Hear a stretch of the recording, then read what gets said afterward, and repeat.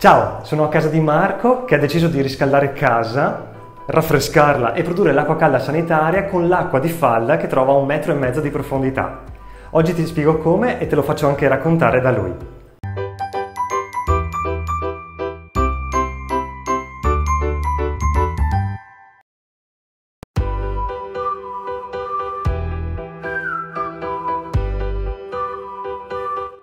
Ciao, siamo qui a nord di Padova, siamo a casa di Marco dove è stata realizzata una centrale termica, oggi è stato collaudato con il centro assistenza l'impianto per il funzionamento, siamo in estate quindi l'abbiamo provata in raffrescamento. Abbiamo una centrale termica dove è stata installata una pompa di calore per acqua calda sanitaria, raffrescamento e riscaldamento di tipo acqua-acqua. Quindi preleva l'acqua di falda, l'acqua del pozzo, per poi ributtarla. Poi ti mostrerò il pozzo qui fuori.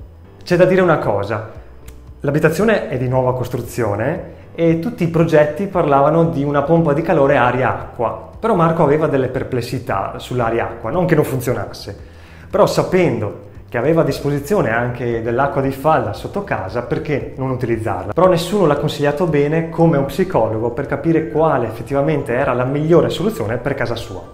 Te lo faccio raccontare da lui, intanto ti racconto un po' la centrale termica. Qui abbiamo la pompa di calore con tutto il gruppo frigorifero all'interno, il classico box in box che ti ho già raccontato in altri episodi, dove la possibilità di estrarre tutto il gruppo frigo in 5 minuti è fondamentale per l'assistenza.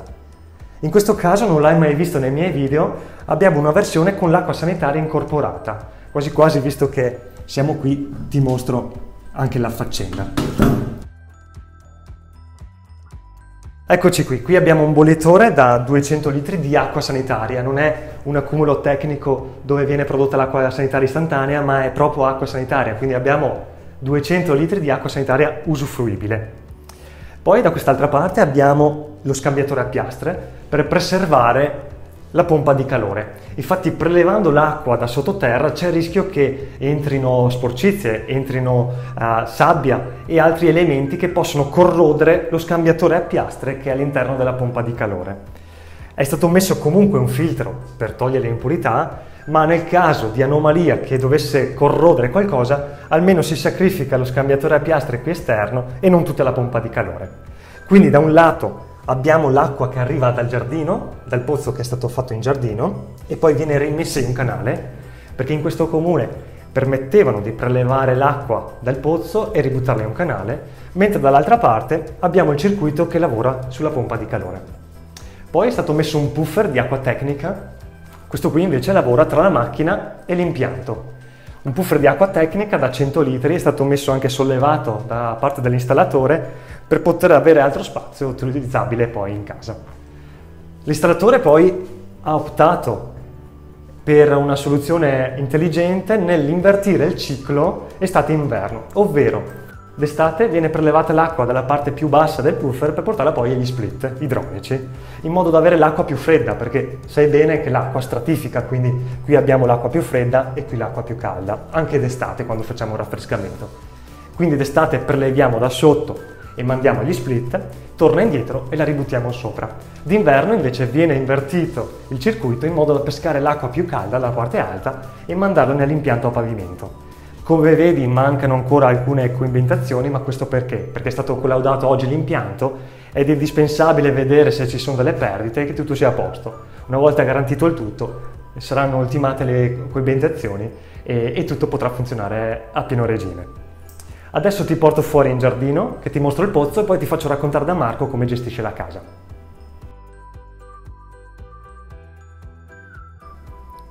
Eccoci qua in giardino da Marco. Questo è il pozzo che è stato realizzato. Ha l'acqua a un metro e mezzo di profondità, è vero, ma con il pozzo sono andati a 20 metri di profondità. Questo perché la prima falla di solito è un po' sporca di sabbia e poi non può garantire tutta quella portata necessaria per utilizzarla in casa. Qui eh, sono indispensabili quasi 40 litri al minuto di acqua. Come vedi, il pozzo è questo qui, la tubazione che è stata messa dall'impresa che ha fatto il pozzo e dentro c'è la pompa a siluro che pesca l'acqua dalla falda. E poi attraverso questa tubazione viene portata all'interno della centrale termica che è qui a 10 metri. D'altra parte invece abbiamo lo scarico dell'acqua che arriva dalla pompa di calore, è ovviamente acqua d'inverno che esce fredda perché noi la raffreddiamo. Questo è lo scarico che poi con uno scarico a perdere porta nello pozzo. Come vedi la tubazione, in questo momento la pompa è ferma, ma eh, se fosse in funzione vedresti i 40 litri al minuto che escono da questa tubazione. Bene, è un lavoro piuttosto semplice, come vedi, qualsiasi azienda di perforazione di pozzi te lo fa in qualche ora, ma adesso ti faccio raccontare da Marco come gestisce l'impianto e perché ha scelto questa tecnologia. Ciao, sono Marco, come vi ha presentato prima Samuele, questa è la mia casa. Tempo fa, eh, mentre stavamo pensando di fare l'impianto, ho conosciuto Samuele, è venuto qui, ha visto l'abitazione e ha visto le potenzialità. Le potenzialità era ma perché eh, non metti una pompa di calore eh, geotermica acqua-acqua al posto di un'acquaria?